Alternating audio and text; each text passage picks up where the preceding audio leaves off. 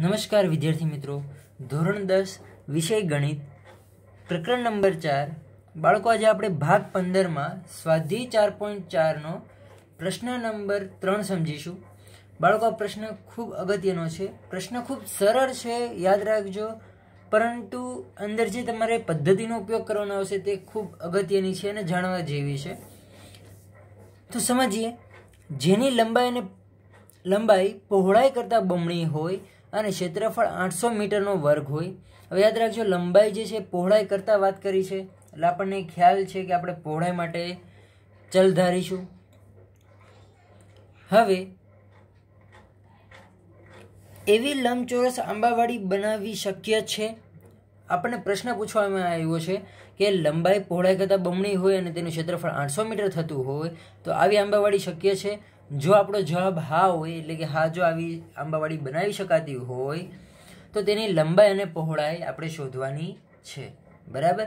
આપણને સીધી રીતે નથી કીધું લંબાઈ અને પહોળાઈ શોધો આપણને સૌથી પહેલાં એ તપાસવાનું છે કે શું આ શક્ય છે, એટલે કે આવી લંબાઈ અને પહોળાઈ કોઈ પણ આંબાવાડી માટે શક્ય હોઈ શકે?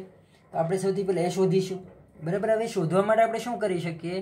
તો આપણને યાદ છે વિવેચક, એટલે કે ડી બરાબર છે? અગાઉના ભાગ જોજો. ભાગ નંબર તેર, ચૌદ. આ બંને ભાગોને ખાસ ધ્યાનથી સમજજો. આપણે વિવેચક એટલે કે ડીની વાત કરી હતી, તો જો ડીનો ઉકેલ શૂન્ય કરતાં નાનો એટલે કે ઋણ મળે આપણને ડીની કિંમત, તો આપણને ખ્યાલ છે કે તેના વાસ્તવિક બીજ શક્ય નથી. બરાબર? તો આવી પરિસ્થિતિમાં જો બીજ શક્ય ન હોય, એનો અર્થ શું થયો? કે આવી લંબાઈ અને પહોળાઈ હોઈ શકે નહીં. બરાબર? અને લંબાઈ અને પહોળાઈ જો હોય તો તેના માટે આપણે એવું કહી શકીએ છીએ કે ડીનો જવાબ શૂન્ય કરતાં મોટો અથવા તો શૂન્ય જેટલો આવવો જોઈએ. બરાબર, વિદ્યાર્થી મિત્રો? તો એના અલગ અલગ બે બીજ શક્ય હોઈ શકે.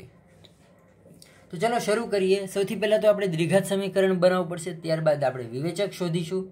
વિવેચક પરથી આપણને ખ્યાલ આવશે કે આ સમીકરણ જે બને છે આપણું, એને વાસ્તવિક બીજ છે કે નહીં?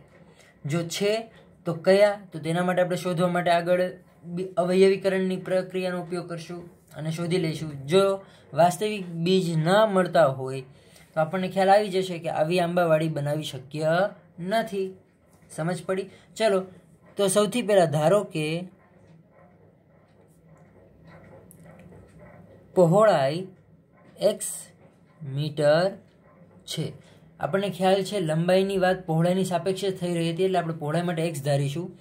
તો માટે લંબાઈ કેટલી થશે? તો લંબાઈ બરાબર પહોળાઈના કેટલી કીધી હતી? બમણી એટલે કે ટુ એક્સ. બરાબર, વિદ્યાર્થી મિત્રો? હવે લંબાઈ આપણી થઈ ગઈ ટુ એક્સ મીટર. હવે આવી લંબચોરસ આંબાવાળી હોય તો લંબચોરસ આંબાવાડીનું ક્ષેત્રફળ એટલે કે લંબાઈ ગુણ્યા પહોળાઈ. બરાબર, વિદ્યાર્થી મિત્રો? તો આંબાવાડીનું ક્ષેત્રફળ આપણને આપવામાં આવ્યું હતું આઠસો મીટરનો વર્ગ બરાબર લંબાઈ. તો લંબાઈ આપણી પાસે છે ટુ એક્સ જેટલી અને પહોળાઈ છે આપણી પાસે એક્સ જેટલી. તો માટે આઠસો બરાબર ટુ એક્સ અને એક્સ બે વખત હોવાથી એક્સનો વર્ગ થઈ જશે. તો આપણે એવું કહી શકીએ કે ટુ એક્સનો વર્ગ બરાબર આઠસો. બંને તરફ બે વડે ભાગી નાખીએ, તો અહીંયા બે બે કેન્સલ અને અહીંયા આઠસો એટલે કે ચારસો ગુણ્યા બે. તો બે બે કેન્સલ થઈ જશે. માટે એક્સનો વર્ગ બરાબર આપણને ચારસો મળે છે, તો માટે આપણે આવું કહી શકીએ કે એક્સ યાદ રાખજો વિદ્યાર્થી મિત્રો, તમે ડાયરેક્ટ એક્સનું મૂલ્ય અહીંયા તમને મળી શકે છે. બંને બાજુ વર્ગમૂળ કરો તો પ્લસ ઓર માઇનસ વીસ વીસ તમને મળી શકે. પરંતુ આપણો પ્રશ્ન એ છે કે શક્ય છે કે નહીં? તો આપણે તે પહેલાં શોધવું પડશે. બરાબર? તમે કહી શકો છો કે હા સર, આ સ્ટેપ પછી જવાબ મળી જશે. પણ આપણે પહેલાં દ્વિઘાત સમીકરણ બનાવવાનું છે અને ત્યારબાદ એને વિવેચક સ્વરૂપે શોધીને લખવાનું છે. ખ્યાલ આવ્યો વિદ્યાર્થી મિત્રો? આપણો પ્રશ્ન અહીંયા પૂરો થઈ શકતો હતો, પણ પ્રશ્ન વચ્ચે એવો છે કે બનાવી શક, શક્ય છે કે નહીં? આપણે તે પહેલાં દર્શાવવાનું છે. તો આપણું દ્વિઘાત સમીકરણ બની ગયું. દ્વિઘાત સમીકરણ બની ગયું ત્યારબાદ આપણે શું કરી શકીએ? તો વિદ્યાર્થી મિત્રો, દ્વિઘાત સમીકરણ પરથી આપણે આને એ એક્સનો વર્ગ plus b x plus c બરાબર શૂન્ય સાથે સરખાવતા. તો એક્સનો વર્ગ એક્સનો વર્ગ સાથે એ હોવો જોઈએ તો એ બરાબર શું અહીંયા કંઈ નથી? તો એક એક્સવાળું પદ છે જ નહીં એટલે કે બી તમારો કેટલો છે? શૂન્ય. અને સીની વાત કરીએ તો અચળ પદ એટલે કે માઇનસ ચારસો. તો આના પરથી ડી શોધીએ તો ડી બરાબર b square minus four a c બરાબર, વિદ્યાર્થી મિત્રો? ચલો, હવે બી સ્ક્વેર એટલે કે શૂન્યનો વર્ગ માઇનસ ચાર એની કિંમત છે એક. સીની કિંમત છે માઇનસ ચારસો. તો વિદ્યાર્થી મિત્રો, ચલો સાદુરૂપ આપીએ શૂન્યનો વર્ગ, શૂન્ય જ રહેશે. માઇનસ, બંને તરફ માઇનસ હોવાથી આ બંને કિંમતો માઇનસ ગુણ્યા માઇનસ પ્લસ થઈ જશે. એકનો ગુણાકાર તો દર્શાવવાની જરૂરિયાત નથી. ચોકે ચોકે સોળ, પાછળ બે ઝીરો, એટલે કે સોળસો. આનો જવાબ કેટલો મળશે વિદ્યાર્થી મિત્રો? સોળસો. જે ગ્રેટર ધેન ઝીરો છે, ખાસ યાદ રાખજો. સોળસો is the greater than zero તો તેના પરથી આપણે કહી શકીએ કે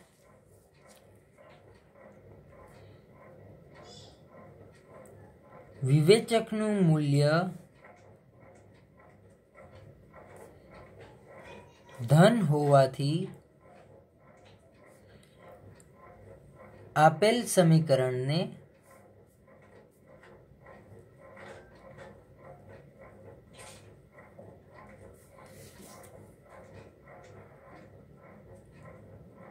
વાસ્તવિક બીજ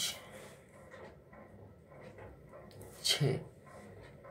બરાબર, વિદ્યાર્થી મિત્રો?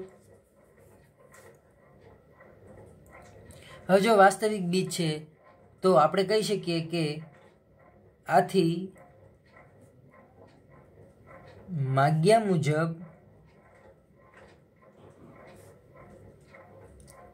માપવાળી આંબાવાડી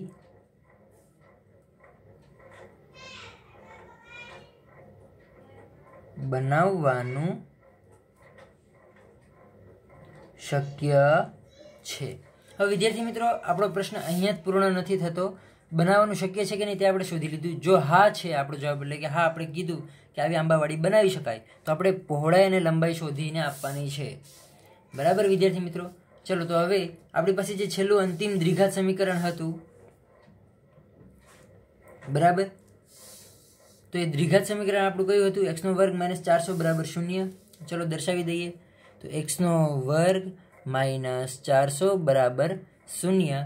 હવે આપણને ખ્યાલ છે એક્સનો વર્ગ અને માઇનસ ચારસો. તો આપણે આને આ રીતે લખી શકીએ. એક્સનો વર્ગ ચારસોનું વર્ગમૂળ એટલે કે વીસ. વીસના વર્ગ સ્વરૂપે લખી શકાય ચારસોને. તો આ બરાબર શૂન્ય. તો આપણે એક સમીકરણ શીખી ગયા છે, વિદ્યાર્થી મિત્રો. જો એ માઇનસ બી અને બીજા કાઉન્સમાં એ પ્લસ બી આ રીતે જો ગુણાકાર થતો હોય તો એ ગુણ્યા એનો વર્ગ એ ગુણ્યા બી એટલે કે પ્લસ એ બી અને માઇનસ બી ગુણ્યા એટલે કે minus a b plus a b minus a b cancel થઈ જશે અને બચે છે માઇનસ ગુણ્યા પ્લસ એટલે કે માઇનસ બી ગુણ્યા બી બીનો વર્ગ. આપણે આને ઊંધું પણ કહી શકીએ. A square minus b square હોય તો આપણે તેના પરથી આવું સાદુરૂપ પણ લાવી શકીએ છીએ. તો અહીંયા જો આપણા માટે એ સ્વરૂપ થઈ ગયું એ સ્ક્વેર માઇનસ આ આખો કાઉન્સ આપણા માટે બી સમાન, તો બી સ્ક્વેર. તો આના પરથી આપણે આ રીતનું બ્રેકેટ છૂટું પાડી શકીએ છીએ. એટલે કે એક વખત માઇનસ, બંને કિંમતો રાખીએ અને બીજી વખત પ્લસ. તો પહેલાં એક્સ માઇનસ વીસ અને બીજા કાઉન્સમાં એક્સ પ્લસ વીસ. આ બરાબર શૂન્ય કહી શકાય. બરાબર છે? તો માટે હવે બંને કાઉન્સ બરાબર, બંને કાઉન્સનો ગુણાકાર જો ઝીરો થતો હોય તો આપણે કહી શકીએ, અથવા તો એક્સ માઇનસ વીસ બરાબર ઝીરો અથવા એક્સ પ્લસ વીસ બરાબર ઝીરો સાદુરૂપ આપતા જઈએ તો માઇનસ વીસ છે, સામે જશે તો પ્લસ થઈ જશે. અને સામેના પક્ષે પ્લસ વીસ છે, સામે જશે તો માઇનસ વીસ થઈ જશે. જે મેં તમને પહેલાં અહીંયા પણ કીધું હતું, વિદ્યાર્થી મિત્રો, આ પદ પર બરાબર છે.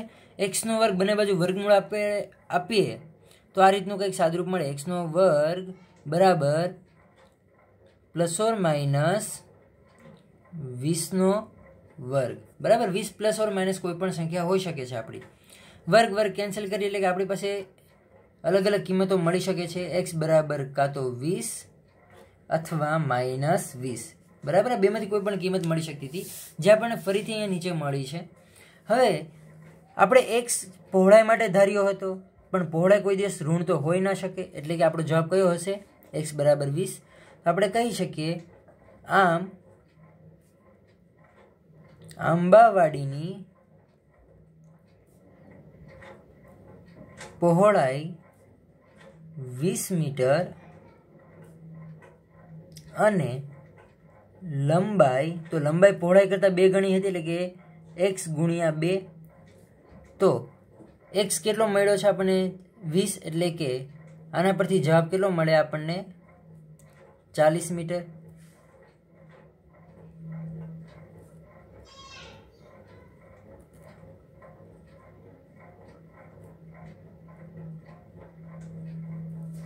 સમજ પડી વિદ્યાર્થી મિત્રો? બાળકો, અહીંયા આપણો આ પ્રશ્ન પૂર્ણ થાય છે. આગળના ભાગમાં આપણે આગળના પ્રશ્ન સમજીશું. તો મળીએ આગળના ભાગમાં. જય શ્રી કૃષ્ણ.